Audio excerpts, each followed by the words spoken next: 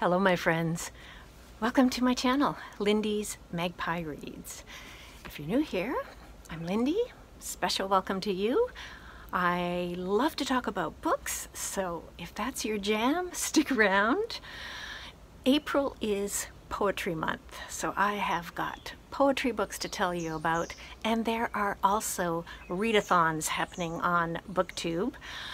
If you're not familiar with these readathons that I mention, look in the description box down below because I am going to link to fabulous booktubers who are hosting the readathons and their readathon announcements. So if you're lost, don't worry, there's more information down there. There's the Picture This readathon hosted by the lovely Jack of Spread Bookjoy and Shelley, of Shelley Swearingen, and this is to encourage adults to read picture books. There's also Trans Girl April, hosted by Kevy over at Chez Kevy, encouraging us to read books by trans authors. And there's People April, hosted by Roz at Scallydandling About the Books and Elizabeth of Bouquins and Books. This is a readathon encouraging us to read nonfiction about people. So, one of the books that I've been reading that I just pick up every morning and read one letter from is this one, Care of by Ivan Coyote. It's fitting two of the readathons, People, it's letters to and from uh, Ivan Coyote, who's a Canadian storyteller and also is a trans man, non-binary person. So Ah, this morning I did not read a letter because the letter yesterday morning made me cry and my eyes were all red and I did not want to be in front of the camera like that. So let me tell you about that letter. It started with a Facebook message from Ferron, the uh, music artist, Canadian music artist, and it's clear that Ivan and Ferron became friends, uh, their experience of being uh, queer musicians of a certain age. Ferron is a fair bit older, and Ivan uh, uh obviously respects her as a uh, butch elder. But in this first letter to Ferron that's in the book, he decides to tackle a topic that has kept him from communicating with Ferron for 15 months, and that is because she posted on her Facebook that she does not include trans women as her category of women. And it was breaking Ivan's heart because music, Ferron's music, Shadows on a Dime, that album meant so much to him. Uh, he listened to it so many times, had it in vinyl, in, then in cassette, and then in CD. And I'm the same way. Uh, I had the record first, um, and now I have the CD, and I love listening to that album. And it hurt me too to hear Ferron was basically being a TERF. Uh, and uh, yeah, I was very sad. What I didn't realize, I cried, and then I was thinking, okay, what am I going to excerpt from this to share what Ivan had to say? And I realized there was a second letter to Ferron. Obviously, there had been some phone call communication back and forth and things were resolved and Ferron was seeing things differently. Uh, oh, I just felt so much better after reading the second letter. So that was in care of, and I am still in progress with this one through April. I have big news about picture this, and that is that tomorrow morning I am going to be participating in a live event with Jack and Shelley and two other booktubers, Dia of Novel Idea and Alice of Alice and the Giant Bookshelf. We are going to be talking about why we as adults continue to love reading picture books. So if that topic interests you, uh, the event is going to be hosted over on Shelley's channel, so look for us there. In Pacific time, that'll be at 6 a.m. tomorrow, and in Eastern time, it's uh, 9 a.m., and then over in England, it will be at 2 in the afternoon. So you'll have to figure out, if you're in a different time zone, figure out for yourself what that works out for you, but it'll be nice to see you there. So, on to eight books that I have finished recently. Starting with this Canadian novel, Interesting Facts About Space. It's by Emily Austin. This is her uh, second book. The first one was Everyone in this room will someday be dead. This one is uh, just as quirky and uh, heart-touching as the first. I like this one even better. Uh, it's in the voice of Enid, who is neurodivergent. She's a lesbian. She's um, she has a lot of anxiety, neuroses. Uh, she has a phobia of bald men, for example. And she's really worried about her mother, who has mental illness, so she checks in on her, uh, on her mother often.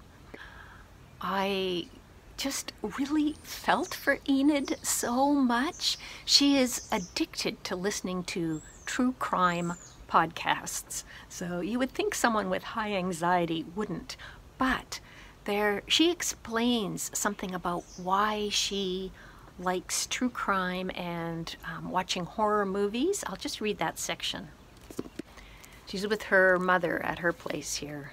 We're going to watch a scary movie. I felt like watching something frightening so I could exert power over it. I want to eat popcorn while I watch it and laugh while it tries to scare me. I could see that. Uh, back when the movie Alien came out, my uh, younger sister Simone went to see it and then later on reenacted the whole movie for me in a hilarious way. and so after that, when I did see the film, I found it very funny. so it's all in our viewpoint, right? Uh, in this true crime podcast listening, the very first sentence is the teenage girl was brutally axed to death by her grandmother. And twice, a couple weeks ago, twice I was reading books where women were killing someone with an axe. And so this is the third. just so strange. But the other strange thing is there is also someone who throws his wife off of a balcony from 17 stories up. And that also uh, comes up in another novel that I read recently or something very similar. So go figure. Anyway, I found this really enjoyable. Um, so not just funny, but very touching, and I do recommend it. And I picked up another book by Emily Austin. This is a collection of poetry called Gay Girl Prayers. Perfect for Poetry Month. And these are uh, riffs for queer individuals who were raised uh, Catholic or religious, and uh, these are twists on Bible verses and uh, Christmas hymns and so on. I, I just have to read some to give you a, a, an example. This one's uh, taken from Joshua 2. Jesus' great grandmother was a harlot and a saint. She was virtuous and worthy, not because of the time she hid men in her rafters to help them escape, but because she was intrinsically valuable, sacred like all sex workers, like all people, like you. And we have a play on Proverbs, chapter 17, verse 6. Newborn enbies are the crown of old fruitcakes. The glory of baby gays is in their daddies. Fairies are the pride of their Aunt Dorothy. Butches are a blessing to femmes, stones, pansies, other butches, and androgynes. They are a splendor to Earth's garden. Trans kids are the joy of their elders and their sports teams. Every fruit is a blessing. Oh, one more. Do you hear what I hear? Heaven and nature are singing. They're drag queens, they're harmonizing, queer joy to the world, while two men slow dance. And I read a text from my friend who is four months on T, sharing their name is Felix now, which means happy. Repeat the sounding joy. There is a character who is bi on primetime TV and a pride flag at City Hall. Repeat, repeat. There's a queer picture book display at the library. A kid is picking one out. His dad is smiling, saying, That's a good pick, buddy. And I'm going to tell someone I love them, and they're going to tell me they love me back. And we're going to get married and immaculately conceive a baby with our two Holy Spirits and a turkey baster. Or maybe we won't. Maybe I'll just write a poem about that person I love that gay people might feel happy reading. And when I'm gray, I'll remember them fondly, think of how lucky I am to have loved someone, and hum heaven and nature's song. Joy to the world. So that was Gay Girl Prayers. And I want to direct you to Sean the Book Maniac's channel, where his mystery guest for Friday Reads was none other than my sweetie, Laurie McFadden, who is also a poet. And uh, she talked about uh, her poetry, read from her work, and also talked about uh, gay girl prayers in that interview. So do check that out. And next I have a graphic novel by the trans non-binary cartoonist Sage Coffey, Wine Ghost Goes to Hell. Now, I first encountered Sage Coffey in a, an anthology that I talked about in my previous video. It's called The Outside. And it's led me to other works, including this one, very fun. It's described as when Wine Ghost was alive, she was a booze-soaked train wreck. Now that she's dead, well, to be honest, not much has changed. so I think Wine Ghost is uh, created uh, based on um, one of those little um, caps that you can get to um, cover your wine after the cork comes out. I'm not sure. Anyway, so Wine Ghost is in hell and one of her friends from back on Earth shows up and is looking for a place to stay in the inner circle of hell and so they go looking for somewhere to somewhere to live and here's some examples of the places they get to. There's a hotel room for rent, good for big family or only one person. Got to text someone named Uncle Louie to let us up. Uh, meanwhile, they're looking at this other place that seems very spacious. Uh, Seb, that's uh, Wine Ghost's friends, asks, can we put in some furniture or like a bathroom? No. Paint the walls? No. This place is ever expanding. There are no walls. And another place uh, seems to be inside the mouth of a creature. Consistent insulation, nice decor, interesting layout, good bones. they, uh, I love little details like the, the teeth on the side and there's a crown as well. They even have a look at uh, Baba Yaga's hut. Yeah, there's lots of fun going on in Wineghost. Next, I want to tell you about an audiobook, Anita de Monte Laughs Last. It is by Xochitl Gonzalez, and the uh, story has three separate narratives. And the audiobook has three different uh, readers for each of those three narrators. It's really a good production.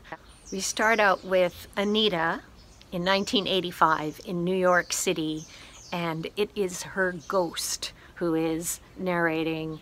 Uh, and this is read by Jessica Pimentel, who's an American actress and songwriter and singer. There's her husband, Jack, uh, he's also an artist. Anita and Jack are both artists. He's narrated by Jonathan Gregg. And then there's uh, Raquel in 1998. She is studying art history in Providence, and she is uh, read by Stacy Gonzalez. Anita is Cuban American, and she is passionate, she is angry. We find out how she died, and uh, later on, Raquel is looking into the art of Jack Martin and hears about Anita de Monte's art. This is uh, like it's got both that mystery element of, dis of discovering um, what exactly happened, but also these great characters. And I discovered that this is based on a true story of Ana Mendieta and her husband Carl Andre.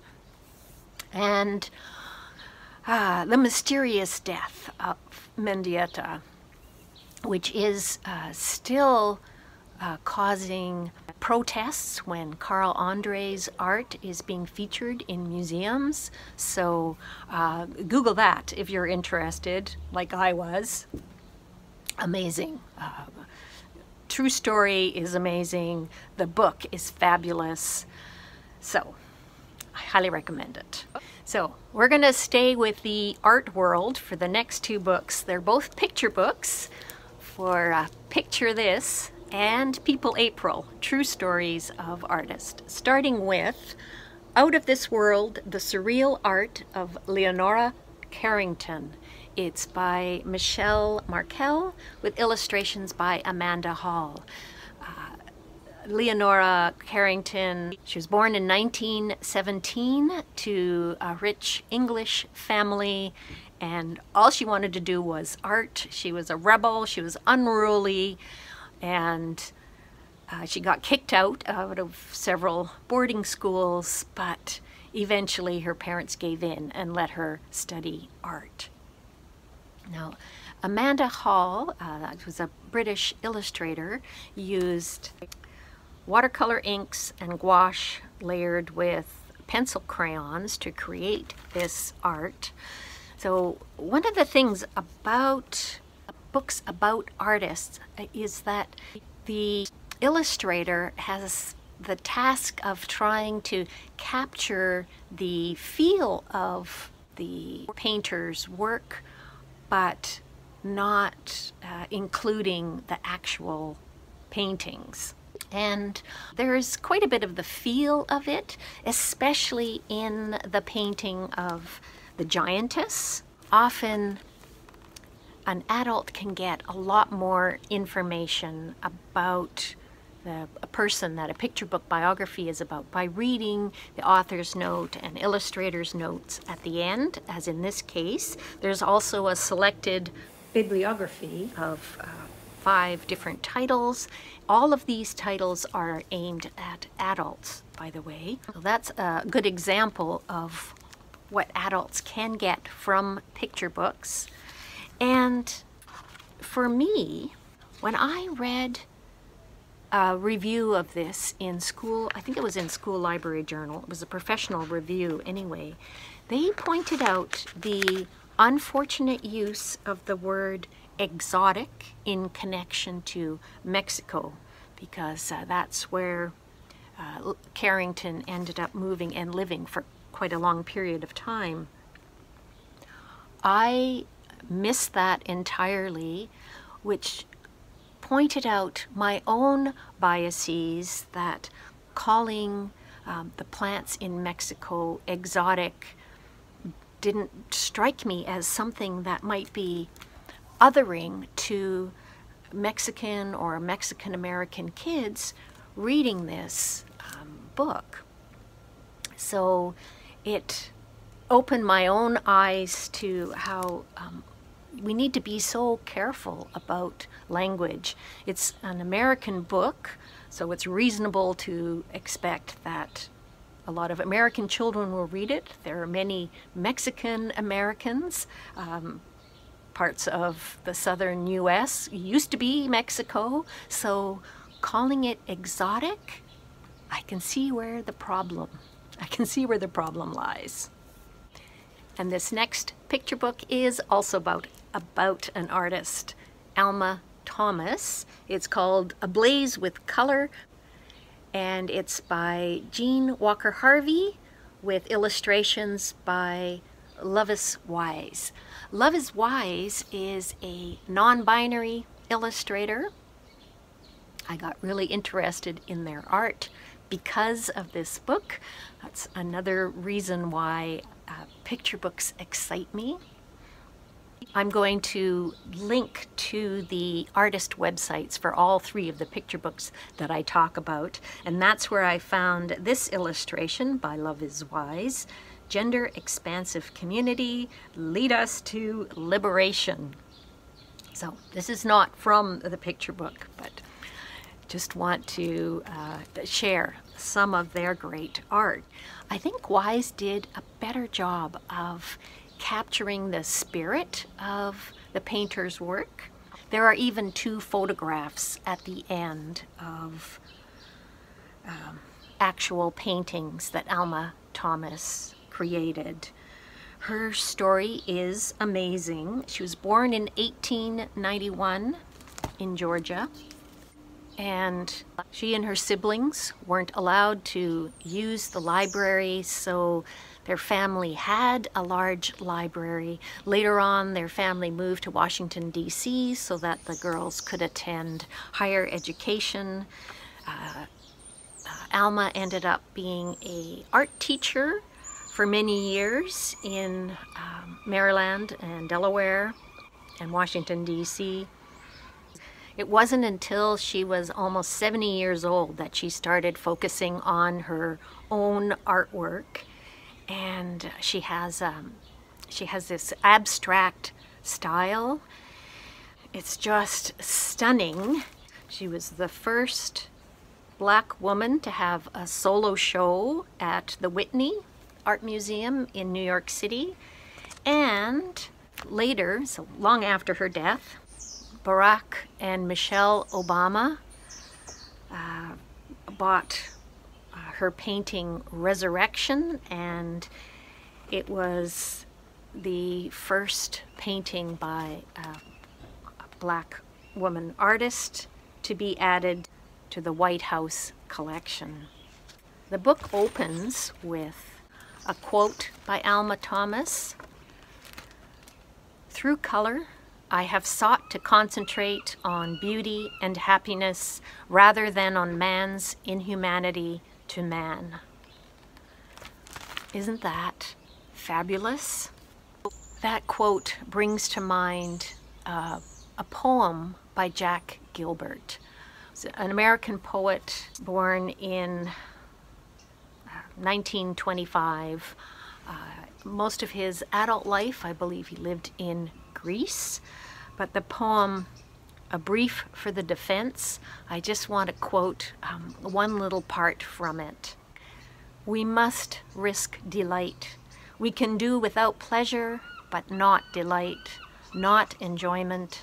We must have the stubbornness to accept our gladness in the ruthless furnace of this world. To make injustice the only measure of our attention is to praise the devil. If you want to read uh, the full poem, and I suggest you do, I will include a link to where you can find it online down below. Next up, another picture book, You So Black by Theresa the Songbird. This is an adaptation of a performance piece that she's got online. It has received millions of views. I'm not exaggerating. I'm going to link it down below. And this one is shortened down and illustrated by London Ladd, who's using bright mixed media collage illustration.